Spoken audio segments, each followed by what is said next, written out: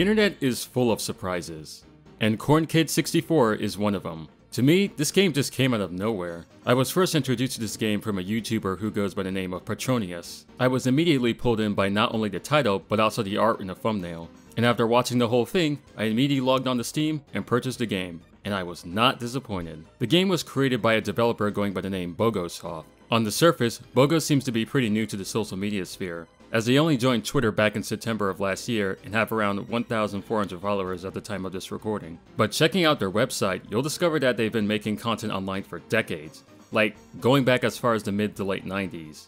And they've also been making games and comics for years too, some that you can actually download, play, and even read. I find all of this interesting because from what I can gather, Bogosoft just seems to be one person, meaning that most of this entire game was just made by one guy, which is pretty impressive considering the final product. But anyway, let's talk about the actual game itself. Corn Kidz follows the character of Civ, a developmentally crippled mutant goat, according to expert sources, who has been living in the same dream every night. With the help of his friend Alexis, the two work together to try and break him out of the dream world and return home. The story is pretty simple, but effective for the kind of game this is. It also helps that most of the characters here don't really take this whole situation too seriously. There is a lot of sarcasm and snide humor when it comes to the dialogue, which really adds to the game's charm. I always find myself smirking whenever a character will open their low poly mouths. With the story out of the way, let's move on to the true star of the show, the gameplay. Corn Kidz plays like a lot of the 3D platformers on the N64 and PS1. More so the former than the latter, think Mario 64 or Banjo-Kazooie. You run, jump, and platform through obstacles while solving puzzles, collecting MacGuffins, etc. But what makes Corn Kidz special in my opinion is its movement and control. Let me explain. Civ's main attack while in the air is his headbutt. It can cover some distance, has some homing properties, and you can even stick it to enemies like these birds and shoot them out like a cannon.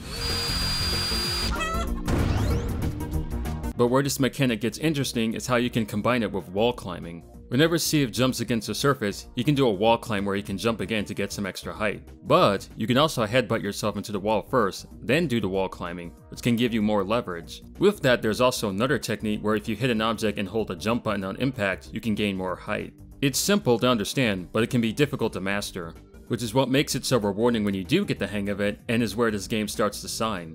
Every level is designed like a playground, sometimes literally, or a jungle gym, which puts these abilities to use in many creative ways. It also helps that Civ controls like a dream, something that I think is a must in 3D platformers. There was never really a moment where I felt cheated or that the game wasn't playing fair. The same thing can be said about the game's camera controls, something that 3D games can occasionally get wrong. The game gives you the option to have it either inverted or just act normally. You can move it around with the right stick or press one of the face buttons to center it behind you or slightly out and above. I tend to choose the latter. You can also hold down one of the back shoulder buttons to go into what I'm gonna call 3 camera mode in which Civ stands still and you can move the camera in 360 degrees. Also pro tip, you can also use this to get better aim when launching stuff like the bomb birds, which is very helpful for the boss of the Outworld. Just saying. While there were a few moments where depth perception did screw me over, I overall think the camera here works like a dream. Going back to the mechanics, throughout the game you'll find these doors with giant numbers. These are essentially level gates, and you won't be able to move past them unless you're at the correct level. And sometimes these do become mandatory to break to, in order to proceed. You can increase your level by finding these cubes littered throughout the stages. Some can just be standing out in the open, while others can be buried underground, found inside these chameleon mobs, in giant crystals, and these challenge mirrors where if you can beat them without losing, you'll get more experience. But if you fail, you'll be yeeted out of the stage and you'll take some damage. Take too much damage, and you'll die. I actually like the experience gates, as it makes the player explore the levels and see what they have to offer. Speaking of the levels, Corn Kidz has a grand total of 4 main worlds.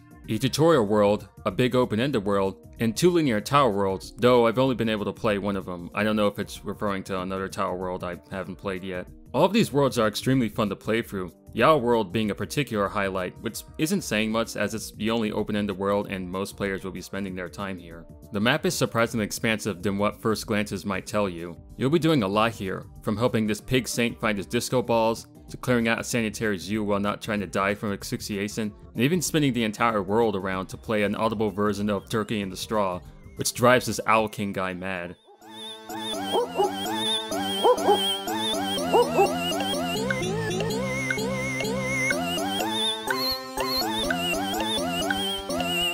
I will admit that during my first playthrough of this game, I did get stuck in this world a few times. But what was funny was at the time, there weren't really any full walkthroughs of this game yet on YouTube, so I had to settle for a speed run to get any idea of where I needed to go and what I needed to do.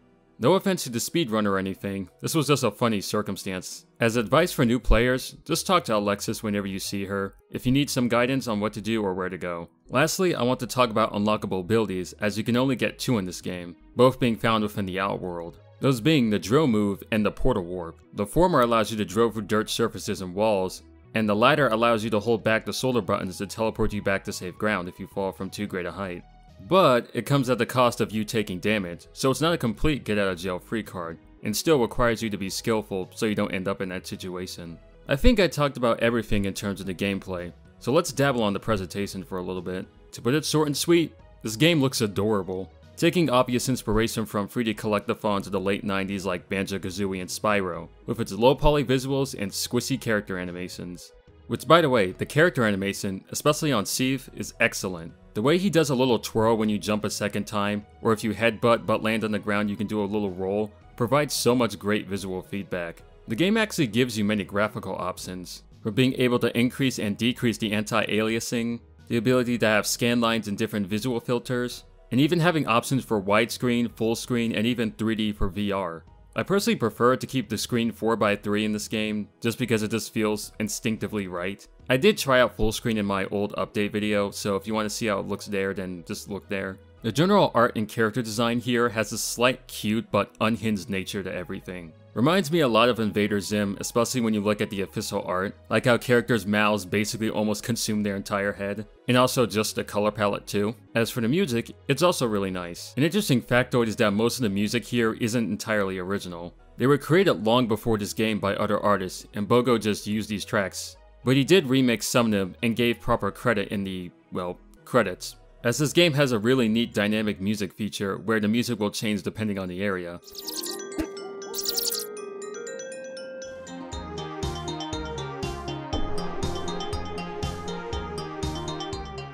Also shout out goes to the music that plays when you're inside the Big Owl's tree. Easily the best track in the game.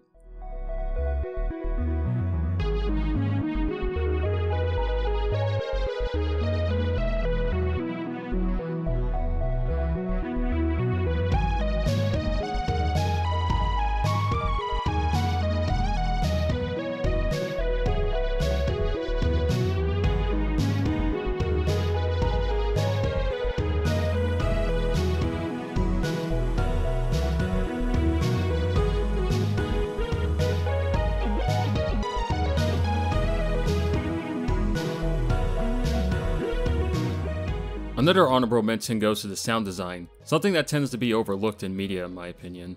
I love the little details like when Civ walks on concrete or hard surfaces, you can hear the clopping of his hooves. There's also other sound effects I like, but I don't have much to say about them, so I'll just play them now.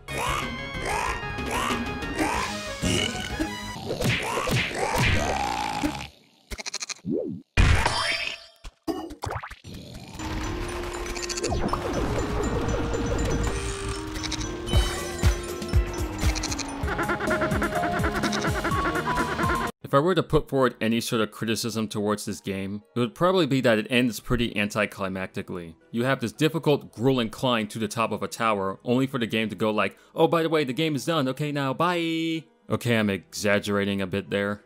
Like, I didn't feel ripped off or anything, but with the way this final area looks, I was just expecting like a boss fight, but no, it just ends here. Again, this is a short game. My second playthrough was clocked in around 3 hours. Also, I didn't go for 100%, which will probably add maybe like another hour to the total playtime. On the Steam page it says like the total playtime is like 4 to 8 hours, so I'm probably missing like a lot of stuff. Which for $6, I think that's the price. I don't think you can really go wrong with this. I remember buying it on sale for like $4.99. Corn Kidz is a great game, but it also feels like a proof of concept in a sense. Like something that can be expanded upon in future iterations or updates. But this is just all speculation on my part, as at the time of recording, Bogosoft hasn't really said anything on the socials to indicate this. But who knows, anything can happen. I still find this game's existence just interesting, and would love to know the process of how it was made. Maybe Bogosoft will be down for an interview one day. Knock on wood. But overall, Corn Kidz, it's good, it's really good, and go play it. Anyway, that's gonna be it for me today. Subscribe to the channel, ring that bell to get notifications on when new videos are gonna drop, and I'll see you in the next video.